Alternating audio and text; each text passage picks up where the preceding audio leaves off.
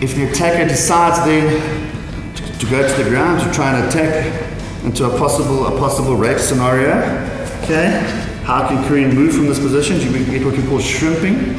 Okay, shrimping looks like this. You shrimp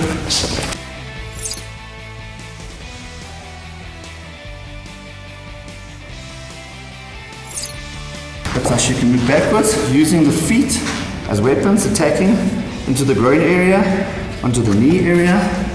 Okay. If I'm if I manage to, close the space a little a little closer.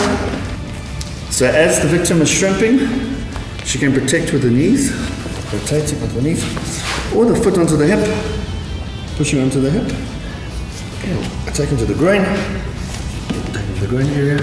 At some point, uh, the attacker will obviously continue, continue, continue. At some point, the victim must take control of the attacker.